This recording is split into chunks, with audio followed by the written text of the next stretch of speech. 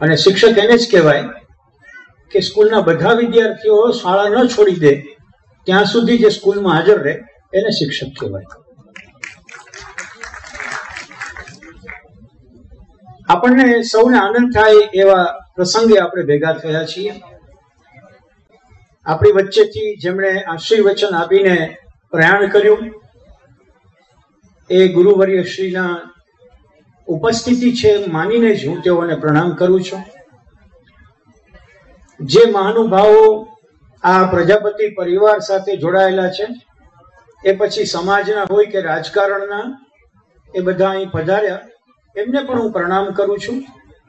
તેમણે સમયસર વિદાય લીધી એટલે આપણે શિક્ષણની વાત કરી શકીશું. મારે આપની સાથે શરૂઆતમાં ત્રણ શબ્દોની વાત કરવી છે. આ ત્રણ શબ્દો એટલા માટે કે આપ જ્યારે સ્કૂલના બિલ્ડિંગમાં જશો, ત્યારે સ્કૂલના બિલ્ડિંગમાં ઠેર ઠેર એક નાનકડો શબ્દ લખેલો છે. અને આ શબ્દ લખ્યો છે, જ્યાં જુઓ ત્યાં લખ્યો છે પ્રણામ લખ્યો છે. કોઈ પણ દરવાજો હોય તો એની ઉપર પ્રણામ લખેલું છે. કોઈ પણ એક્ઝિટ હોય તો એની ઉપર પ્રણામ લખેલું છે. મને સૌભાગ્ય પ્રાપ્ત થયું છે કે મને નાનો હતો ત્યારથી બે બાબતો લખવાની અને બોલવાની ટેવ છે. એમાં પહેલું પ્રણામ છે અને હું કોઈની જય બોલાવતો નથી, હું જય જગત એમ બોલવા ટેવાયેલો છું. વિનોબાજીના એક સાચા ફોલોઅર તરીકે. કારણ કે હું માનું છું કે જગત બચશે તો આપણે બચી જશું. મિત્રો, ત્રણ શબ્દો છે અને એ શબ્દોની વાત સોલા ભાગવત વિદ્યાપીઠના દાદા શ્રી કૃષ્ણકંસર શાસ્ત્રીજીના ભાગવત પિયુષમાં સુંદર રીતે સ્પષ્ટ કરી છે. એમણે કહ્યું છે કે નમસ્કાર કરવા માટે ત્રણ શબ્દો આપણે વાપરીએ છીએ. એક શબ્દ છે વંદન, બીજો શબ્દ છે પ્રણામ, અને ત્રીજો શબ્દ છે નમસ્કાર. એમને અર્થ આપ્યો છે એ આજે એટલા માટે કેવો છે કે શિક્ષણની સભા છે એટલા માટે. વંદન કહેતી વખતે યાદ રાખવાનું છે કે જેને વંદન કરી રહ્યા છીએ, એના પ્રત્યે વફાદારીનો વિશ્વાસ આપણે વ્યક્ત કરી રહ્યા છીએ. આઈ વિલ ઓબે યુ એમ કહેવાનું નામ વંદન છે. પ્રણામનો અર્થ એવો છે કે હું જેને પ્રણામ કરું છું, તેના પ્રત્યે પ્રામાણિક રહેવાની હું પ્રતિજ્ઞા કરું છું. જ્યારે તમે પ્રણામ બોલો છો, ત્યારે બોલતા નથી. તમે તમારી એક નિષ્ઠા પ્રદર્શિત કરો છો કે હું આપને પ્રામાણિક રહેવાનો છું. આપણે કૃષ્ણમણી મહારાજને જો પ્રણામ કહીએ, તો અર્થ એવો છે કે આખા પ્રણામી સંપ્રદાય પ્રત્યેની આપણી પ્રમાણિક વફાદારી આપણે પ્રસ્તુત કરીએ છીએ. અને ત્રીજો શબ્દ છે નમસ્કાર, જે હું સમગ્ર જગત પ્રત્યે નિમક હલાલ રહેવાનો નિર્ણય અથવા નિશ્ચય કરું છું, એમાંથી નમસ્કાર શબ્દ આવ્યો છે. આનો અર્થ એવો છે મિત્રો કે ભગવાનને જો નમસ્કાર કહીએ, તો એનો અર્થ એવો કે આપણે સર્વસમર્પણ કર્યું. ભગવાનને જો આપણે વંદન કહીએ, તો ભગવાનને આપણે વફાદાર રહેશું એવું આપણે કહ્યું. અને ભગવાનને જો આપણે પ્રણામ કરીએ, તો ભગવાનની દરેક રચના પ્રત્યે આપણે પ્રામાણિક રહેશું એવું આપણે સ્વીકારીએ છીએ. આ ત્રણ શબ્દો થી મેં શરૂઆત એટલા માટે કરી છે કે જ્યારે પ્રણામ કહેનારી કોઈ સંસ્થા હોય અને એ પણ શિક્ષણ સંસ્થા હોય. મોટીભાઈ તો સ્વજન છે અને આજના પ્રસંગ પછી વધુ સ્વજન બને છે. પણ મને બહુ આનંદ એ વાતનો થયો કે આ સ્કૂલના દરેકે દરેક પ્રવેશ દ્વાર ઉપર પ્રણામ લખ્યું છે. અને એટલા માટે પ્રજાપતિ પરિવારની પ્રામાણિકતાને પ્રદર્શિત કરનારો આ પ્રણામ શબ્દ જ્યાં લખ્યો હોય એવી કદાચ વિશ્વની આ પહેલી સંસ્થા હોવી જોઈએ. પ્રણામ કહેવું બહુ સહેલું છે, પ્રસ્થાપિત કરવું બહુ મુશ્કેલ છે. હમણાં બે દિવસ પહેલા જેમની પુણ્યતિથિ હતી તે સાહિત્યકાર હરીન્દ્ર દવે નું એક પુસ્તક છે. મિત્રો, ક્યારેક સમય મળે તો યુવાનો અને યુવતીઓને પણ મજા આવ્યું છે. એ પુસ્તકનું નામ છે માધવ ક્યાંય નથી. વાંચજો જરા. અને માધવ ક્યાંય નથીના પુસ્તકના પહેલા પાના ઉપર એક વાક્ય લખ્યું છે. એ વાક્ય ખાસ સાંભળવા જેવું છે અને જીવનમાં આપણી સાથે રાખવા જેવું છે. વાક્ય લખ્યું છે, કોઈની, કોઈનો સ્નેહ કદી ઓછો હોતો નથી. કોઈનો સ્નેહ કદી ઓછો હોતો નથી. માત્ર આપણી અપેક્ષાઓ જ વધારે હોય છે. આનો અર્થ એવો થયો કે શિક્ષણ પાસેથી પણ આપણી અપેક્ષાઓ વધારે છે. શિક્ષણમાં જે થાય છે, તેનો સ્નેહ જરાય ઓછો નથી. આ જ હરીન્દ્રભાઈની એક બહુ સુંદર મજાની ગીત રચના છે. અને એ ગીત રચનાના શબ્દો, ફૂલ કહે ભમરાને, ભમરો વાત કહે ગુંજનમાં, માધવ ક્યાંય નથી મધુબનમાં માધવને શોધવા નારદ નીકળે એમ ખરેખર ગુરુ એ વિદ્યાર્થીને શોધવા નીકળવાનો હોય.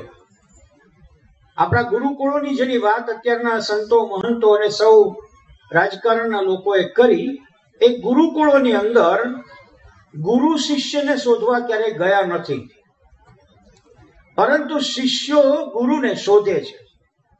પછી આપણા અવતાર પુરુષ રામ હોય કે શ્રી કૃષ્ણ હોય, એના માતા પિતા એને આશ્રમમાં મૂકવા જાય છે. એડમિશન અવેલેબલ એવી નોટિસ ત્યારે કોઈ લાગેલી નહોતી. અને તમારે ગુરુકુળમાં દાખલ થવું હોય તો આખરી પરીક્ષામાંથી પસાર થવું પડે. એ ગુરુકુળો બે હજાર જેટલા હતા, એવી જે વાત થઈ, એ કેમ નષ્ટ થયા? અંગ્રેજોનો દોષ આપણે ચોક્કસ દઈએ. મેકોલેને બને એટલો વખોડી દઈએ. પણ ભાઈ, મેકોલેના અવસાનને પંચોતેર એસી વર્ષ તો થઈ ગયા છે ને. હજી મેકોલેની અસર છે ને? તો એનો અર્થ એવો છે કે મૈકોલે સદેહ જતો રહ્યો છે, પણ ચૈતન્ય દેહ આપણા ભેગો બેઠો છે. અને આપણી આખી સિસ્ટમને હાયરકિયલ સિસ્ટમ આપણે ડેવલપ કરી છે. એમાંથી બહાર નીકળવા માટે આજે એવું કેવું પડે, આ વિસ્તારમાં, વટવાના વિસ્તારમાં હું ગઈકાલે આવતો હતો એસપી રિંગ રોડ ઉપર બોપલ તરફ વળવાને બદલે જમણી તરફ વળ્યો, અને પછી હું નામ વાંચ્યા કરતો હતો બધા. ત્યારે મને લાગ્યું કે હવેન્દ્રભાઈ અહીંયા હોય તો એ પોતાની પંક્તિ બદલે. ફૂલ કહે ભમરાને, ભમરો વાત કહે ગુંજનમાં. માધવ, ક્યાં નથી મધુવનમાં? આ મધુવનની અંદર તમે જ્યાં જુઓ ત્યાં માધવ માધવ માધવ છે. પછી એ ઇન્ટરનેશનલ સ્કૂલ માધવ હોય, કે માધવ ફાર્મ હોય, કે માધવ પબ્લિક સ્કૂલ હોય. આ માધવ છે, એ કૃષ્ણનું નામ છે. પણ યાદ એ રાખવા જેવું છે મિત્રો કે કૃષ્ણને પંદરમે વર્ષે ભણવા મૂક્યા હતા. વહેલા નહોતા મૂક્યા. આપણે તો બાળક જન્મે ત્યારથી છ મહિનામાં ચિંતા કરીએ છીએ કે હવે આ ક્યાંક જાય તો સારું. અને પરિણામે આપણા બાળકોને આપણે ઓછું સાચવી શકીએ છીએ એટલે પ્લે હાઉસ શરૂ થયા છે. પ્લે હાઉસ એ સમાજની જરૂરિયાત છે, શિક્ષણની જરૂરિયાત નથી. આપણને ખબર છે દોઢ વર્ષનું બાળક થાય, ત્યાં તો એને ઝડપથી સ્કૂલે મોકલી દેવામાં આપણને રસ છે, કારણ કે એને જે સંસ્કારિત કરવું જોઈએ, તે કરવાનો આપણી પાસે સમય નથી. માતાઓ પાસે સમય એટલા માટે નથી કે માતાઓ પોતાના કામમાં વ્યસ્ત છે. રોજિંદુ ઘરનું કામ તો ચોક્કસ છે, પણ આજુબાજુની પડોશણો સાથે પોતાની વાતચીતો અથવા પોતાની જે ચૂરચૂરી હોય, એ કરવામાં એનો ઘણો સમય જાય છે. અને પરિણામે એ બાળક સાથે સમય આપીને સંસ્કારની વાત ઓછી કરી શકે છે. સ્કૂલનો અર્થ એવો થાય છે, આ શબ્દ થોડો વિચિત્ર છે. નવરાશના પળે કરવાની પ્રવૃત્તિ એને સ્કૂલ કહેવાય. સ્કૂલ મૂળ શબ્દનો અર્થ આવો છે. હવે આપ જરા વિચારજો કે સ્કૂલો છે, નવરાશના પળે કરવાની પ્રવૃત્તિ છે કે નવરાશ જૂટવી લેતી પ્રવૃત્તિ છે? એ જરાક વિચારજો, આ બધા સુખનો લોકો છે. તેમ છતાં સ્કૂલની જરૂર કેમ પડી છે? ભાઈ, મનોજે અહીંયા આંકડા આપ્યા કે આ કેટલાની સ્કૂલ છે? છસો ના આંકડાને સ્પર્શવા તરફ આપણે પણ ટેકો કર્યો છે આજે અમદાવાદમાં. તો આટલી સ્કૂલો શરૂ કરવા પાછળનું કારણ એ છે કે આપણા કુટુંબોની વ્યવસ્થા ધીમે ધીમે તૂટી રહી છે. અહીંયા જે વડીલો છે કદાચ સંમત થશે યુવા બહેનો અને યુવાન ભાઈઓને સંમત થવામાં વાર લાગશે. પણ એક સમય હતો કે ઘરની અંદર પાકે પાકા સંસ્કાર આપવા માટેની પ્રવૃત્તિઓ થતી. આપણા બાળકની સામે હાલરડું આપણે ગાઈ શકતા. આપણા બાળકને નિરાંતે ઘોડિયાની જોડીમાં આપણે ઝુલાવી શકતા. આપણા બાળકની સાથે આપણા દાદી કે આપણા નાની બેસીને શ્લોકોનું ઉચ્ચારણ કરી શકતા. હવે જ્યાં દાદી રહે છે, ત્યાં દીકરાનો દીકરો રહેતો નથી. જ્યાં નાની છે, ત્યાં દીકરીની દીકરી રહેતી નથી. પરિણામે આ બધું કોણ કરે? આપણને ખબર છે કે હવે પ્રસૂતિમાં પણ આઈવીએફ આવ્યું છે. એમ જ સંસ્કારો માટેનું આઈવીએફનું નામ સ્કૂલ છે. આ મારી વ્યાખ્યા છે. It is a good arrangement ultimately આપણું સેન્ટર તો બાળક છે. અને બાળક સચવાઈ જાય છે. પણ યાદ રાખવા જેવું છે એ ત્રણ મુદ્દા મારે કહેવા છે અને ત્રણ મુદ્દા કહીને હું મારી વાત પૂરી કરીશ. આ સ્કૂલ એવી વ્યવસ્થા છે કે જે આપણા માટે પૂરક છે. It is a complementary system of the society supplementary નથી, વધારાની નથી કોમ્પ્લિમેન્ટરી છે. પણ તમે સ્કૂલમાં બાળકને દાખલ કરો ત્યારે એ માધવ પબ્લિક સ્કૂલ હોય તો ઉત્તમ છે. તમે સ્કૂલ બિલ્ડિંગ જોશો એટલે ખ્યાલ લાગશે કે કેટલી બધી કાળજી લઈને નાના બાળકો માટેની પણ વ્યવસ્થા અહીં કરવામાં આવી છે. હું ગઈકાલનો આવી ગયો છું ને મેં સ્કૂલ જોઈ લીધી છે, પછી આ વાત કરી રહ્યો છું. હું સ્વામી વિવેકાનંદનો ફોલોઅર છું. એ એવું કહે છે કે હું કહું તેથી માનશો નહીં. હું કહું છું એનો તમે અમલમાં મૂકજો. અને મૂક્યા પછી સાચું લાગે તો બોલજો. મેં ગઈકાલે સ્કૂલ જોઈ છે. મોતીભાઈ અને એમાં સાથે આખી સ્કૂલના વડીલ ભગવાનભાઈ સાથે બેસીને આખી સિસ્ટમની ચર્ચા કરી છે. મોટામાં મોટો આ સ્કૂલનો ફાયદો એ છે કે એ લોકો એજ્યુકેશનના સ્ટેડી પ્લેયર્સ છે. કેમ સ્ટેડી પ્લેયર્સ છે? They already work in education with the school system for twenty two years બાવીસ વર્ષથી મોર દેન સિક્સ થાઉઝન્ડની સ્ટુડન્ટ્સની સ્ટ્રેન્થ સાથે તેઓ માધવ ઇન્ટરનેશનલમાં શિક્ષણમાં પડી ચૂકેલા લોકો છે. અત્યારે સ્કૂલો ખોલનારા લોકો બે પ્રકારના હોય છે. એક જે પ્રકાર અત્યારના આપણે અનુભવી રહ્યા છીએ એ મોતીભાઈ અને એના પરિવારનો. બીજો, જેમાં એક ઉદ્યોગપતિ પાસે ખૂબ પૈસા હોય છે અને એને પૈસા ક્યાંક રોકી દેવા હોય છે. એટલે રોકીને છૂટી જાય છે અને પછી એક માણસને રાખે છે કે લે તું આ ચલાવી દે. હવે પૈસા રોકનારો શિક્ષણનો નથી. અને ચલાવી દેનારો પણ શિક્ષણનો નથી, એવી સ્કૂલોમાં હાલત ખૂબ ખરાબ થાય છે. અને આપણને ખ્યાલ છે કે એ સ્કૂલોનો ઉદ્દેશ્ય માત્ર ફાઇનાન્શિયલ ગેઇનનો છે, નાણાકીય પ્રાપ્તિનો છે. આ મોતીભાઈ પ્રજાપતિના પરિવારની બે મુખ્ય ખાસિયત એ કે એ લોકો સ્ટેડી પ્લેયર છે. રાહુલ દ્રવિડની જેમ શિક્ષણમાં એ લોકો ગોલ છે. દે are the wall of the education system in Ahmedabad, in this area. અને બીજું મહત્વનું વાત એ કે આ પ્રજાપતિ પરિવાર કમાઈ, ધમાઈને, સંતૃપ્ત થઈને આ પ્રવૃત્તિમાં પડ્યો છે. એટલે આમાંથી કઈ કમાઈ લેવાની લાગણી અથવા ઉદ્દેશ એમનો નથી. ધરાઈ ગયેલો છે. સંતૃપ્ત એટલે ટુ બી સેચ્યુરાઇઝડ સેચ્યુરાઇઝેશનના પોઈન્ટ ઉપર એ પહોંચી ગયા છે અને પછી આમાં પડ્યા છે. એટલે ચિંતા કરવાનું કારણ નથી. અનેક સેવાકીય કાર્યોમાં એ લોકો જોડાયેલા છે.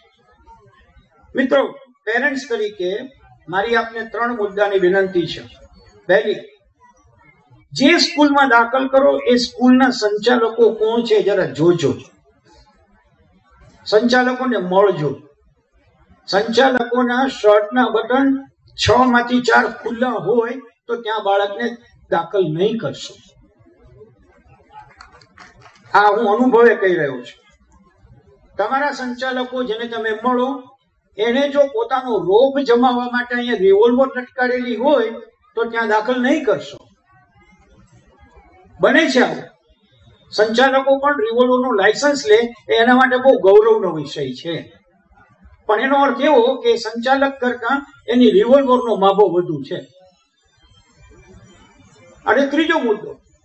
તમે જે સ્કૂલમાં દાખલ કરવા જાઓ, એ સંચાલકને મળજો. અને મળ્યા પછી તમારી સાથે કેટલી વિનમ્રતાથી એ વાત કરે છે, એ જરા જાણજો, પછી તમારા બાળકને એમાં દાખલ કરજો. આપણે તમને ત્રણ લિટમસ પેપર ટેસ્ટ આપ્યા. To admit your child in a specific school તમે જે સ્કૂલમાં બાળકને દાખલ કરો, એમાં આટલું ચેક કરીને દાખલ કરો. દાખલ કરી લીધા પછી હવે સ્કૂલ જાણે ને આપણે છૂટા એવું નહીં માનશે. એવું જરાય નહીં રાખશે.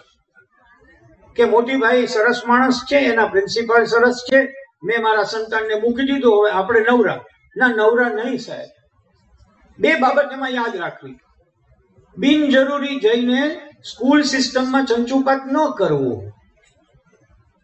હું તો શિક્ષણનો માણસ છું આઉટરાઇટ શિક્ષક છું. પ્રાથમિકથી લઈને છેક હાયર એજ્યુકેશન સુધી ભણાવ્યું છે. આજે પણ ભણાવી રહ્યો છું. બિનજરૂરી ચંચુપાત ન કરશો. તમારા શિક્ષકો જેની પાસે તમારા સંતાનને મૂક્યું છે, એનામાં પૂર્ણ શ્રદ્ધા રાખજો. એનામાં પૂર્ણ વિશ્વાસ રાખજો. તમારા સંતાનની હાજરીમાં ક્યારેય સ્કૂલ વિશે ખરાબ ન બોલજો. અને શિક્ષક વિશે તો ક્યારેય ઘટતું કે ઓછું નહીં બોલશો. કેમ નહીં બોલશો? તમને એમ થાય કે તમે અહીંયા આવ્યા છો એટલે વાત કરું છું. ને, હું જ્યાં જાઉં આવી જ વાત કરું. હું બિંદાસ માણસ તરીકે ઓળખાઉં છું. એટલા માટે કે તમારું સંતાન જે અત્યારના ત્રણ, ચાર, પાંચ વર્ષથી લઈને સત્તર અઢાર વર્ષનું થવાનું છે આ સ્કૂલમાં, કારણ કે બારમા ધોરણમાં આવશે ત્યારે સત્તર વર્ષનું હશે. હવે છ વર્ષ એને સત્તર બાર ને છ અઢારનું હશે. એ સંતાન પોતાના શિક્ષકનું નબળું સાંભળી શકતો નથી. કારણ કે એનો હેબિટ ફોર્મેશન પિરિયડ છે અને આ બધા જ વિદ્યાર્થીઓના હીરો એના ટીચર હોય છે. તમે યાદ કરો આપણો ભૂતકાળ. આપણને પણ આપણા શિક્ષકો આજે વાલા લાગે છે. એ શિક્ષકો વિશે કે એ સ્કૂલ વિશે કશું ઘસાતું નહીં બોલજો, આવી મારી બીજી વિનંતી છે. અને ત્રીજું અને છેલ્લું બહારની દુનિયામાં જે બની રહ્યું છે, બહારની દુનિયામાં, એના વિશે સ્કૂલ તો અવગત કરાવશે. હવેની કોઈ પણ સ્કૂલ માત્ર અભ્યાસક્રમ કરાવીને અટકી જઈ શકે એમ નથી. નેશનલ એજ્યુકેશન પોલિસીની વાત જે હમણાં ધારાસભ્યશ્રીએ કરી, એ પોલિસી અતિ ઉત્તમ છે. દુનિયાની જેટલી સારામાં સારી વાતો છે, બારોબારથી લઈ આવીને આપણે મૂકી છે. પોલિસી સરસ બની છે. But the best the big question mark, how to implement it. એનું અમલ કેમ કરવું એ મોટો પ્રશ્નાર્થ છે. અને એ પ્રશ્નાર્થ કોણ પૂરો કરી શકશે? મારી દ્રષ્ટિએ સંચાલક નહીં વિદ્યાર્થી નહીં સમાજ નહીં માત્ર મા બાપ પૂરો કરી શકશે. કેમ મા બાપ પૂરો કરી શકશે? કારણ કે આજુબાજુમાં બનતી ઘટનાઓ વિશે મા બાપે જાગૃત રહેવું પડશે. કોમ્પ્યુટર આવડે છે તો હવે કઈ બહુ લિટરેટ નહીં કહેવાય કોમ્પ્યુટર મોબાઈલમાં આવડે છે તો થોડાક લિટરેટ કહેવાશું. પણ કોમ્પ્યુટરની અંદર ટાઈપ કર્યા વગર બોલીને લખતા આવડે છે? તો લોકોને અચંબો થશે. છેલ્લામાં છેલ્લી એઆઈ ની શોધ ચેટ જીપીટી થી આપણે પરિચિત છીએ? તો આપણું સંતાન છે એ શિક્ષિત ગણાશે. આ બધી બાબતો જે બહાર બની રહી છે જે છાપામાં આવી રહી છે, એનાથી તમે પોતે અંગત રહેજો. મા બાપ તરીકે. એટલા માટે કે નહીતર કોન્ફ્લિક્ટ થશે, ઘરની અંદર સંઘર્ષ થશે. તમારું સંતાન સ્કૂલમાંથી બધું શીખીને આવશે અને તમે કશું નહીં જાણતા હો, તો તમે તમારા સંતાનનો સ્વીકાર નહીં કરી શકો. અને થોડોક વખત નહીં કરી શકો, તો સંતાન પછી તમારો સ્વીકાર નહીં કરે.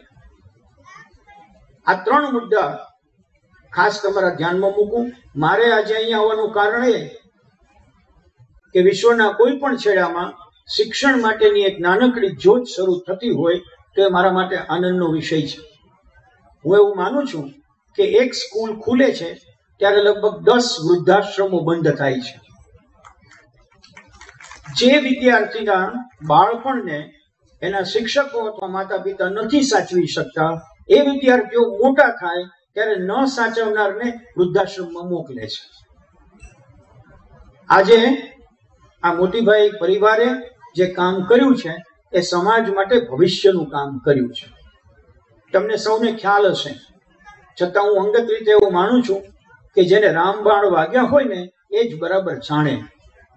આ મોદીભાઈના જીવનનો થોડો અભ્યાસ કરો, તો તમને ખ્યાલ આવશે કે એમને ભણવું હતું ત્યારે એ ભણવા માટે ભરવાની ફીના પૈસા એની પાસે નહોતા.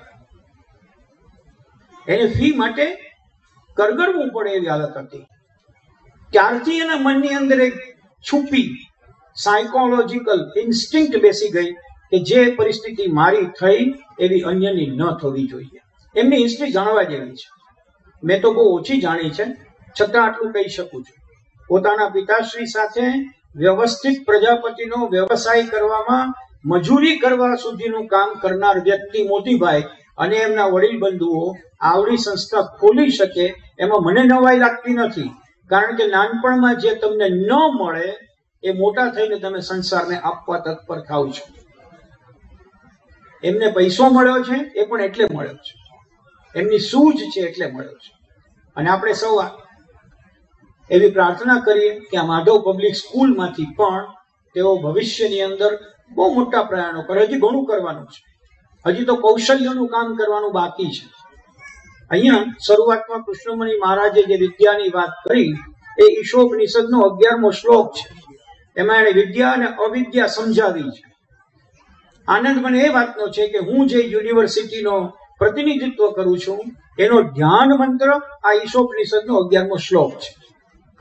જેમાં એવું કહેવામાં આવ્યું છે કે માત્ર વિદ્યા નહીં, અવિદ્યા પણ શીખવી. વિદ્યાર્થી તમારું અહીંયાનું બનશે, ઘડાશે અને અવિદ્યાર્થી તમારા હાથ પગના કૌશલ્યો ઘડાશે. એકવીસમી સદીમાં નેશનલ એજ્યુકેશન પોલિસીમાં બહુ મોટો આદર્શ હોય તો દરેક બાળકને સ્કિલફુલ બનાવીને સમાજમાં મૂકવાનો આદર્શ છે. ઇટ ઇઝ વેરી ડિફિકલ્ટ કારણ કે ભારતની જનસંખ્યા બહુ મોટી છે અને સ્કિલ માટે જથ્થો ન જોઈએ. નાનું ગ્રુપ જોઈએ. એ નાનું ગ્રુપ કેમ કરવું એ મોટો પ્રશ્ન છે. સરકાર પ્રયત્ન કરે છે. હું માનું છું કે સરકારે પણ આવી સંસ્થાઓને, આવા વ્યક્તિઓને કચલી આંગળીનો ટેકો નહીં, કૃષ્ણ જેટલો પર્વત ઉપાડવા જેટલો ટેકો આપવો જોઈએ.